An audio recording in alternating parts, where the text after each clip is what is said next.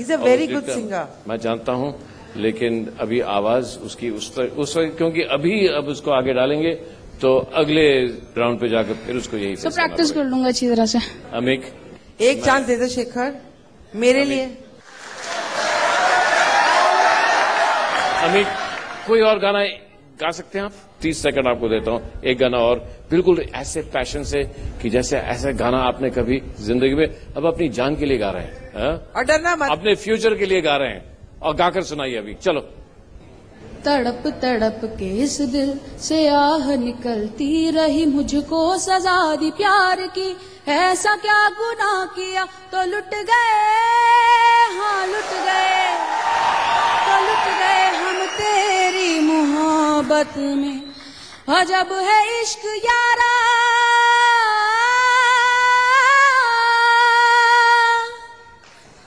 पल दो पल की खुशियाँ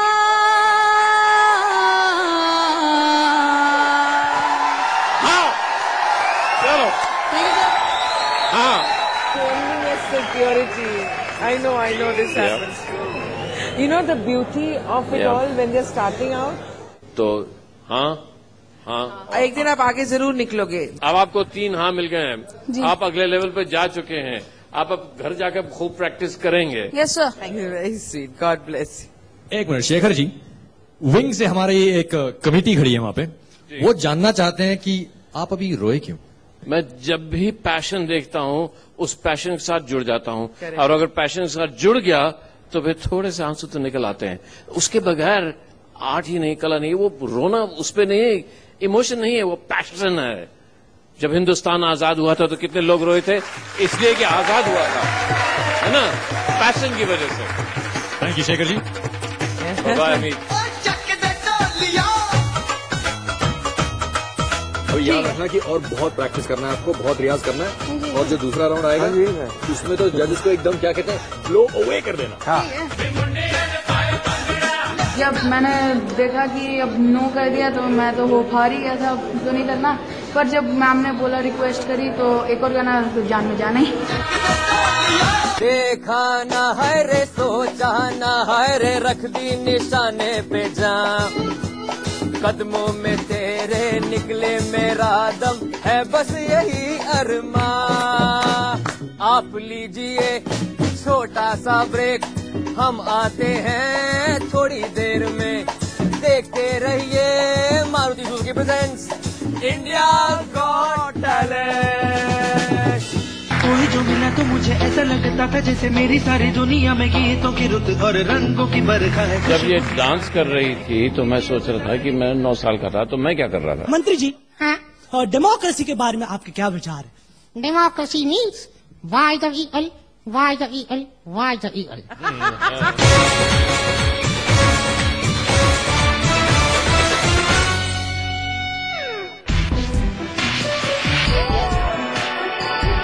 मुंबई में टैलेंट रोके नहीं रुकता। और यहाँ बड़े तो बड़े छोटे भी माशाल्लाह। छोटा बच्चा जान के ना कोई आँख दिखाना रे। अकल का कच्चा समझ के ना हमको समझाना।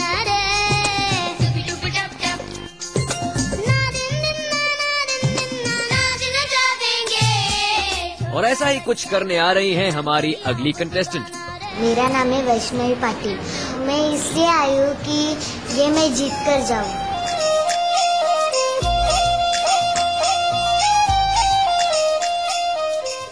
क्या नाम है आपका बेटा? वैष्णवी पाटिल। और आपकी उम्र क्या है? नौ साल। और आप क्या करने वाली हैं? मैं सेमी क्लासिकल में कुछ अलग करने वाली हूँ। तो चलो फिर ठीक है दिखाओ।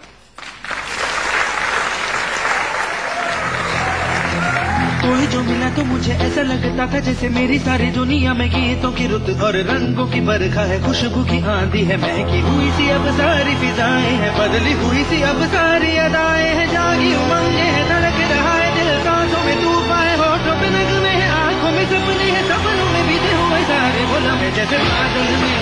चाँद छुपा है और झाँक रहा है। जैसे रात के पर्दे में एक सवेरा है रोशन रोशन आँखों में सपनों का सागर, जिसने प्रेम सितारों की चादर जैसे झलक रही है। लहरों लहरों बात करे तो जैसे मोती बरसे आप जो टूटे मेरे आँख जो खुली मेरी होश, जो आया मुझे, मैंने देखा, मैंने जाना, वो जो कभी आया था, नज़रों पे छाया था, दिल में समाया था जा भी चुका है और दिल मेरा है। अब तनहा तनहा, न तो कोई अरमा है, न कोई तमन्ना है न कोई सपना जैसे कोई में में।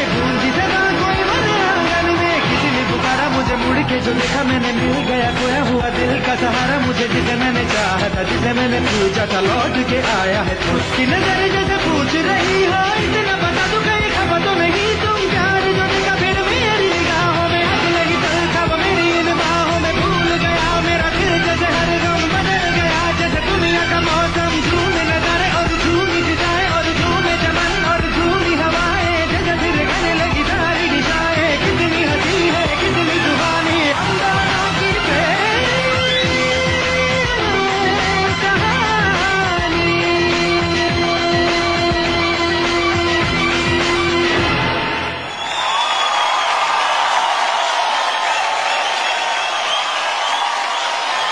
वैष्णवी आपने तो कमाल का डांस किया।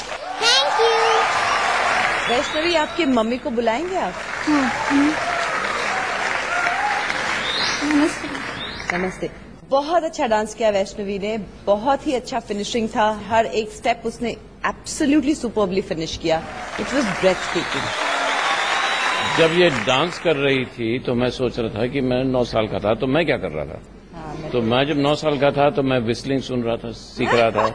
मैं अपने तस्मे बांधना सीख रहा था। मैं शीशे के सामने बाल बनाना सीख रहा था। और आप यहाँ